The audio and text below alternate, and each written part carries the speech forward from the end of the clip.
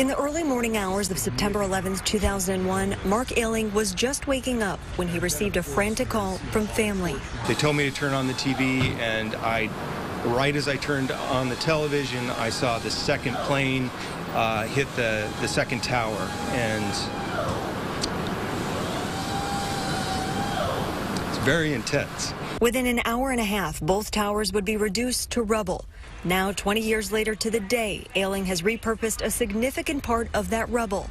The final piece of the trade towers removed from ground zero. There are signs of a lot of heat exposure on the piece of steel. There's spots that look like the, the inch and a quarter thick steel plate is like clay, like soft, wet clay. It's been pushed around by incredible forces. The artist was contacted by Tampa Green Beret Scott Neil, who owns a distillery across from Aeling's studio.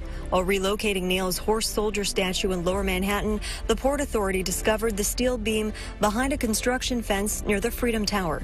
Neil had one request. And they wanted this monument to be about the day after, about the first responders, and about how the community was brought together by that experience. And In St. Pete's Warehouse District, the monument will feature a 30 foot copper phoenix wing and a half moon wall featuring hundreds of hand painted tiles. But the beam will be the centerpiece, hoping to emulate America post 9 11 as a phoenix rising from the ashes. A feeling 20 years later that still carries its weight. You know, obviously it still holds emotion, and it's a real honor to be able to do something like this.